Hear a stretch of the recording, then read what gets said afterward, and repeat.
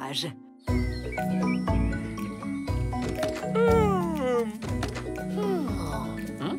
Tiens, bonjour Rose. C'est une magnifique journée pour faire du sirop d'érable. Tom, est-ce que ça veut dire qu'on va faire une soirée crêpe? Oui, et...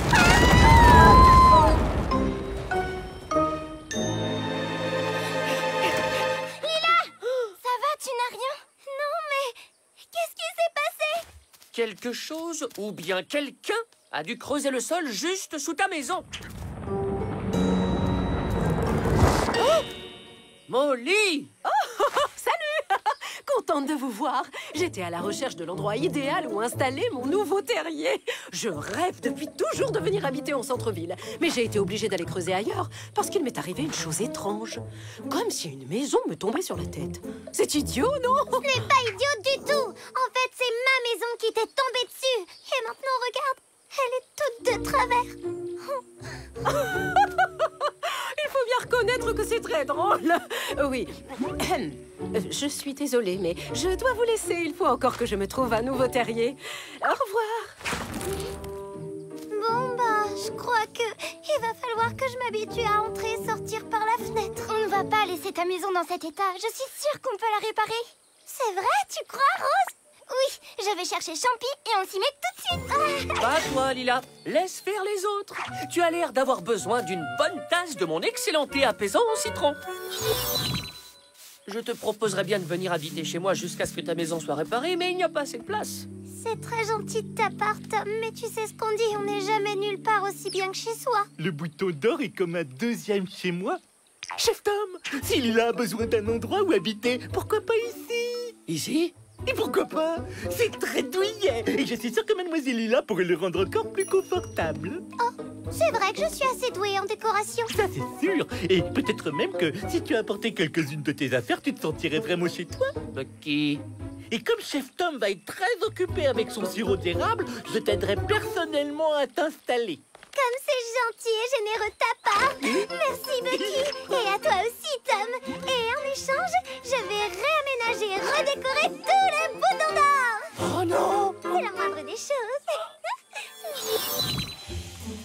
n'est pas le moment de se reposer, on réessaie. Je sais que Lila veut récupérer sa maison dès que possible.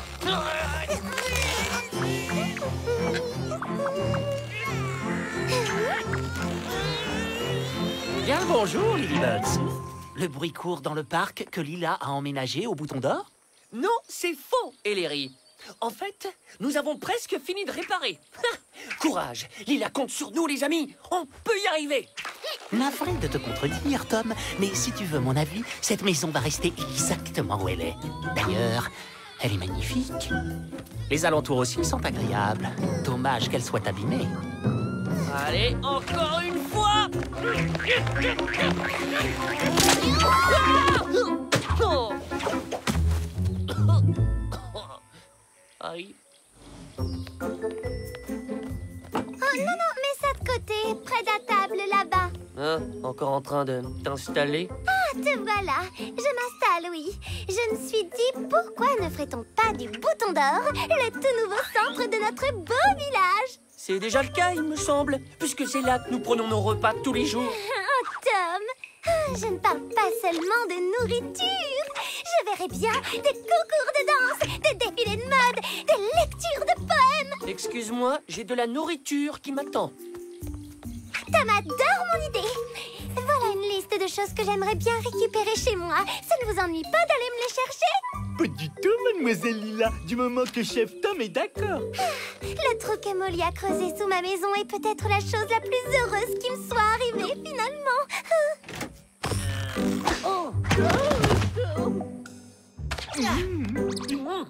Alors, deux chaises. Ça doit être celle-ci.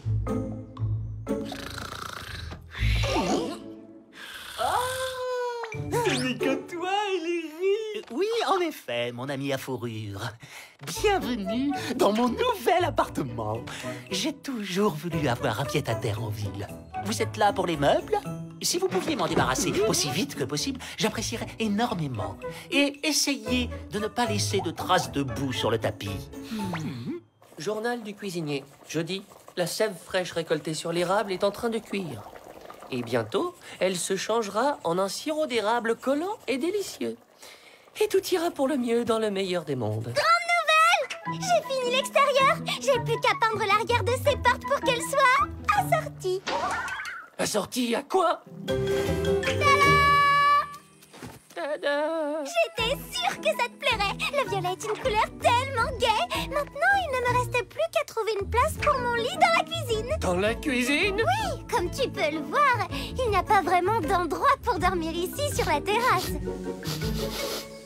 Attends une seconde. Oh non Mon sirop d'érable Il a bouilli trop longtemps Ne t'inquiète pas, chef Tom. Je vais aller chercher un autre seau de sève sur l'arbre pour que tu refasses une marmite de sirop. Tom, quelles fleurs préfères-tu sur les tables Des brins de muguet ou alors des mini-roses Cette fois, ça va forcément marcher Attention, à trois en tir Un, deux, trois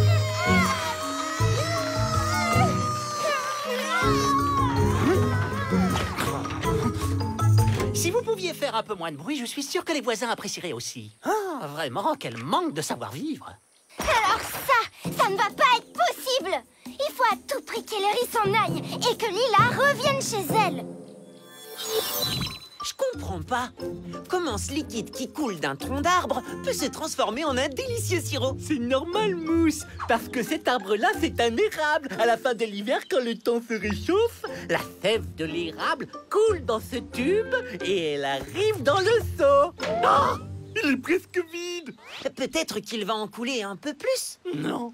Chef Tom dit que quand la sève arrête de couler du tronc, ça veut dire que la saison du sirop est terminée. Attends, et si tu faisais pousser un autre érable, peut-être qu'il donnerait plus de sève Euh, tu sais, les Lilybuds ne font pas vraiment pousser d'arbres, mais je peux quand même essayer. Recule, Bucky.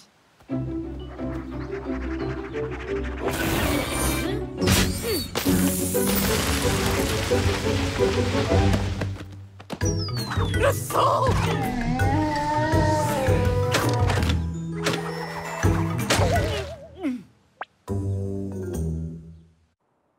que j'essaie de te dire, c'est que euh, toute la sève s'est renversée et il ne reste presque plus.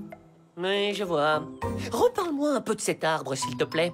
Il a poussé lentement et sans à-coup, c'est bien ça J'ai pas pu l'en empêcher. Et il a emporté le seau de sève avec lui dans les airs. Bucky, tu es le meilleur Qui ça, moi? Oui Où sont passées les pommes de terre à replanter qui étaient là? Hmm, Je les ai, Bucky Je veux que tu fasses exactement ce que je vais te dire. En fait, je vais même te l'écrire. Voilà les instructions de Chef Tom. Dire à Mousse de replanter la pomme de terre dans le tunnel que Molly a creusé sous la maison de Lila. Pomme de terre à replanter en place. Maintenant, fais bien attention, Bucky. Oh, c'est moi ça. Demande à tous les Lilybuds de faire leurs gestes magiques en même temps. Compris, Bucky Vous êtes prêts, les amis? À la une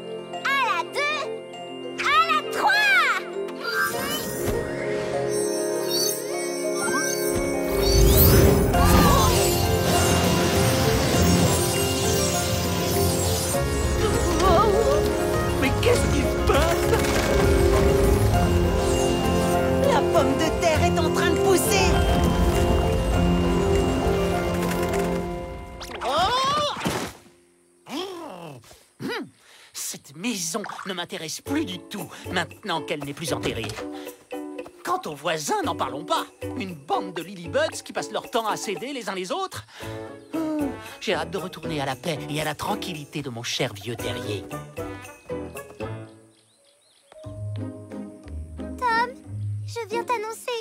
Mauvaise nouvelle. Je vais devoir retourner habiter dans ma maison, je regrette. Je te serai toujours reconnaissante de m'avoir invitée à habiter ici. Mais ce n'est pas la même chose, je ne me sens pas vraiment chez moi. Euh, écoute, Lila. Je sais ce que tu vas dire, ça va être trop calme, peut-être même trop triste quand je serai partie. Mais je dois m'en aller, je suis si... Désolée,